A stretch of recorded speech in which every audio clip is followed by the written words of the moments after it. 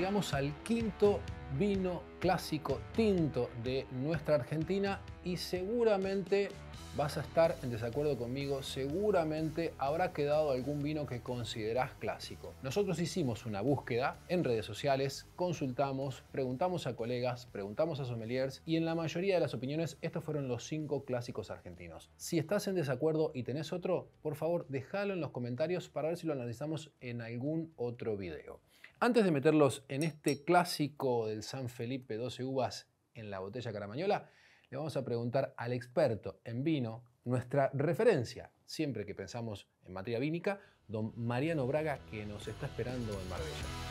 El 12 uvas de San Felipe es un clásico, es un clásico que además tiene esa cuota eh, singular que se lo da básicamente su formato de la botella, la gran caramañola, que el 12 uvas es un ícono, pero que también hay otros de los vinos de San Felipe que se embotellaron en la caramañola y se la considera de hecho uno de los primeros vinos finos de la Argentina, remonta a más de 1900, a principios de 1900, y está inspirada esa botella, ese formato de caramaniola, en la Boxbeutel alemana muy famosa de la zona de Franconia, y otra de las características de las rarezas quizás que tiene el 12 uvas es que dentro de esa composición varietal, básicamente son 12 variedades de uva, vino tinto, pero intervienen algunas variedades de uva blanca, que no es algo tan usual de ver, por lo menos no lo era en su momento, eso siempre al vino tinto le da un poquitito de ligereza, favorece también ya un poco más técnico el tema de la fijación del color en vinos tintos, que, se haya, que haga una, una cofermentación, que haya una cofermentación con variedades de uva blanca, siempre le da ese color un poquitito más intenso,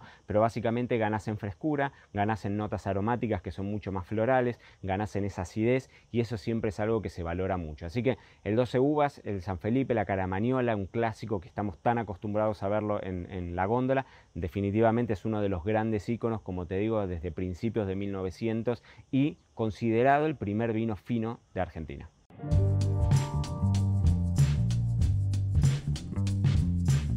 Bueno, ¿y qué se puede llegar a contar de un producto que es prácticamente una referencia ineludible de la Argentina a lo largo y a lo ancho? De punta a punta, sur a norte, este a oeste, en su clásica presentación, la botella Caramañola, que creo que debe ser una marca registrada. Ahí estoy viendo que la hace Catorini, debe ser en, Espeleta, ahí en la zona del sur de, de Buenos Aires.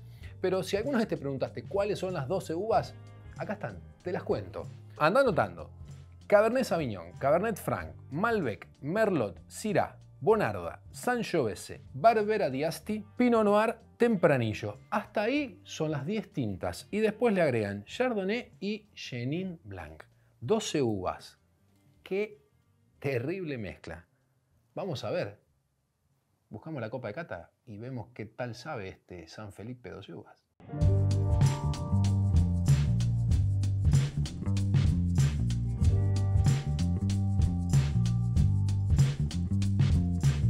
San Felipe 12 uvas.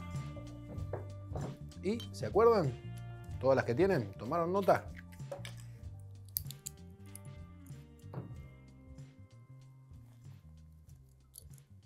Qué difícil se me hace con la mano que tengo poder agarrar este cuello chiquitito. Está duro. Perfecto. Corchito cortito. Como viraje de laucha, como pata de chancho. Bien. Hermoso el ruidito cayendo en la copa. Podemos ver un violeta brillante con tonos rojizos vibrantes también. Tal vez tirando hacia el perfil de un clásico Cabernet Sauvignon. Bien.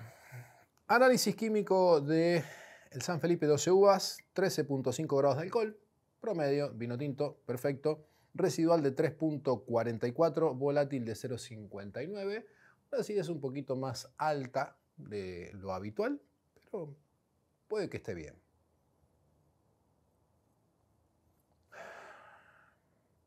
Compleja la situación. Difícil diferenciar un solo aroma. De entrada, sentí como notas tirando a vainilladas por un paso por madera, que lo tiene, declara 10 meses de crianza en barricas de primer y segundo uso, roble americano, es decir, notas vainilla, coco, deberían dar esas barricas. Yo vainillado siento, coco no. Detrás algo de especias, puede llegar a ser el aporte del cirá, tal vez como una especie de pimienta negra o algo por el estilo.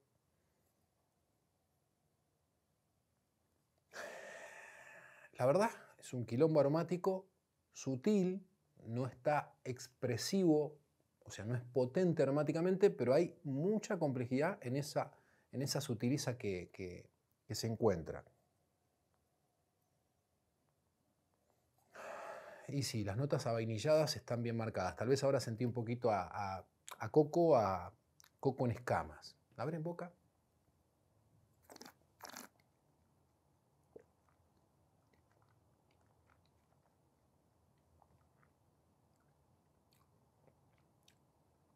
Cuerpo, untuosidad, astringencia marcada, así desbalanceada. Cuando uno ingresa un producto así en la boca, es cuando decís, qué rico vino. Retrogusto largo, extenso, muy, muy bueno en boca. Realmente un combo muy, muy interesante para la boca. No estoy sintiendo notas tan marcadas en el aroma. Vamos a calentarlo un poquito. A ver si es esa situación. Ah, sí, le faltaba un poquito más de calor. Vino como una especie de patada voladora entre un morrón asado verde, un pimiento verde asado, con algo de especias y un poquito de fruta. Impresionante. Muy, muy interesante. Y si les digo que pagamos, ¿cuánto pagamos este vino? 1.730 pesos. Bueno, bonito, barato. Las tres B larga en formato una botella bastante llamativa. ¿Qué más podés pedirle a un vino? La verdad, increíble. Mi primera vez con un San Felipe 12 uvas y me llevo una hermosa y grata sorpresa. La productora me hace como, ¿cómo? ¿La primera vez con uno de estos? Sí, mi primera vez con San Felipe Caramañola 12 uvas. No con San Felipe, porque he probado las los varietales, no específicamente el 12 uvas. Con este vino, tal vez el más clásico de los vinos tintos argentinos, probablemente. Cerramos este ciclo de catas de vinos tintos clásicos que no intentamos hacer una comparativa. ¿Por qué? Por diferentes precios, por diferentes tipos de productos y simplemente tomamos la referencia de que son marcas, etiquetas que ineludiblemente marcan algo en el argentino. Si yo te hago que me digas tu top 5 de marcas que más te acuerdes de vino, no las que más te gustan, las que te acordás, probablemente alguna de estas 5 incluyan en tus primeros 3. Por esa razón, Estamos muy contentos de haber hecho este camino de prueba con estos cinco clásicos y ojalá en algún momento podamos hacer otro más, tal vez con los blancos. Si te queda alguna sugerencia de algún tinto que nos faltó probar, déjala en los comentarios. Nosotros nos vemos próximamente en otro video. Copan Mal. Salud.